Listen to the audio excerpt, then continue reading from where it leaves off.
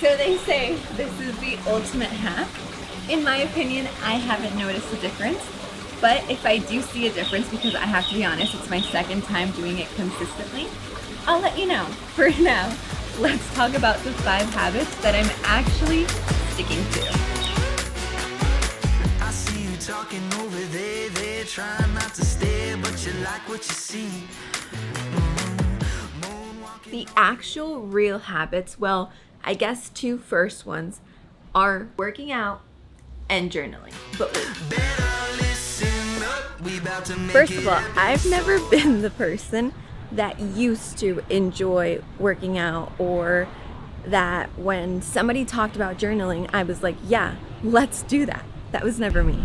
Yet something happened. There was just one moment where it clicked, where I wanted to do it, where I felt better doing it.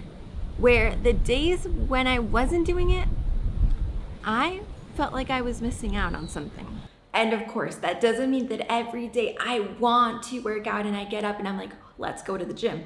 I have those days where I'm not motivated, where I'm like, no, please, I don't need to go. And then once I get there, the feeling afterwards is so much better. But it hasn't always been easy. The way I make it to the gym and I get that notebook out and I basically pull myself and motivate myself to do it is by following the technique that they share in Atomic Habits, basically pairing something that you already do that's like a given with a new habit that you're adding on. So, first of all, I pair the journaling to the fitness, but not only that, I pair the fitness to getting up and getting ready. I know every day I have to get up and I have to get ready. So if I get up and the first thing I do is put on my workout outfit before getting ready, before thinking about where I'm even going, well, I'm already in my workout outfit and most likely I'm going to end up working out before actually getting ready for the day.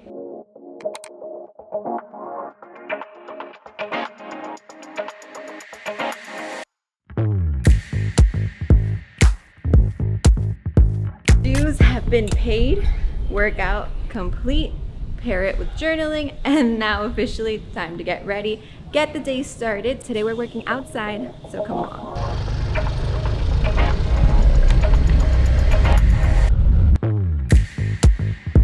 We made it.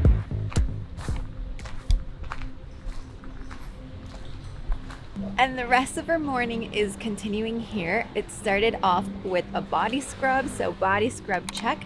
And then the rest of the day is pretty much going to be jumping around from the different installations that they have here on the spa as I continue to share the rest of the habits. Now, for habit number three, something that's really, really important, and I think something that has completely impacted my life so far, and I'm going to continue to be doing it, and that's calendar blocking. And I can definitely show you what that actually looks like on my calendar in just a second, but it's basically that it's creating different calendars inside of a huge calendar that basically houses everything that you do.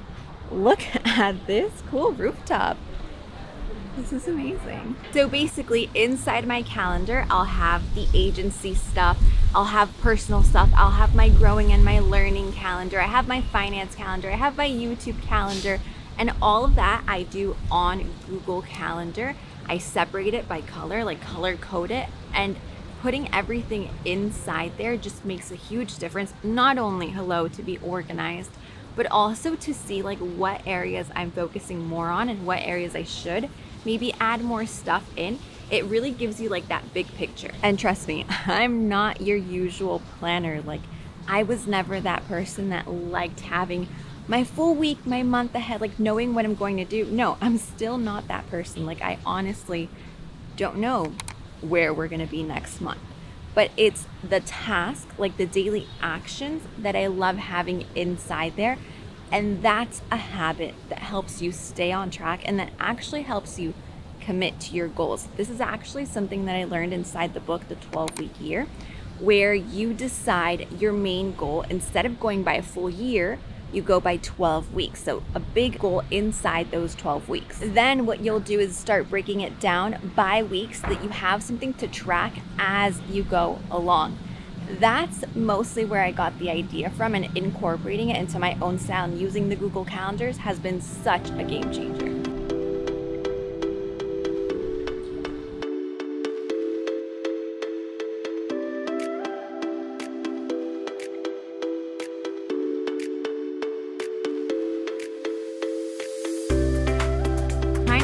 To that one is the actual tracking of finances, which has built up this habit all in one that has absolutely transformed my personal finances. So it's like tracking and setting goals and also using the right accounts that allow you to separate and be able to track these goals even easier.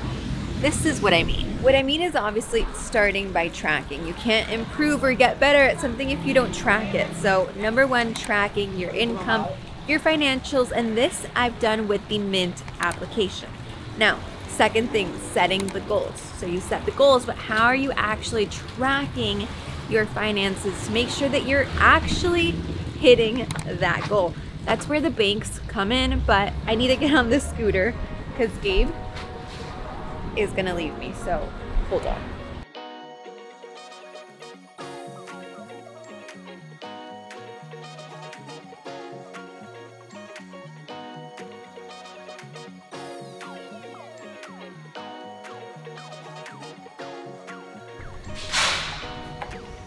And staying on top of your finances, if you have your goal mixed in with all the other stuff happening in your bank account, well, the reality is it's not that easy.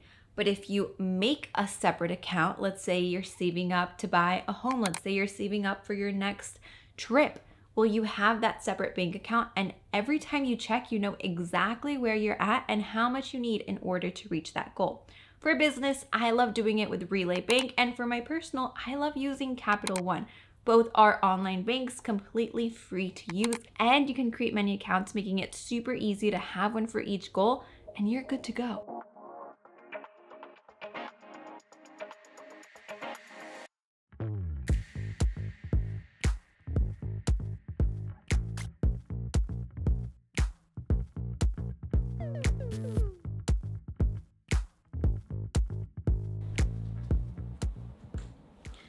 And trust me, all these things aren't things that just come to my head from who knows where.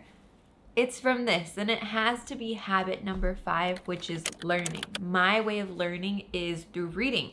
Yours can be through podcasts, through videos. There are so many different ways, but it's that constant allowing yourself to learn new things. Like the beginning, the first habits, that pairing solution, that's from Atomic Habits. Then the next part about blocking your calendar and breaking it down to weekly tasks. I got that from the 12 week yearbook, like I mentioned. Allocating money in different buckets, that's from Profit First, and so on. I think the learning never stops. And that's why this is for sure a habit that I'm keeping with me and that I'm going to continue. Right now, I'm currently reading The Joy of Business, and obviously, I don't incorporate every single thing that I learned from books because that would be nearly impossible and also super overwhelming. That's not the case. It's getting what you do like, what you are interested in, what you do think is going to work, and incorporating. That's also why every week inside the newsletter, I share a book recommendation of the week. Hint, hint, if you're not signed up, you're missing out.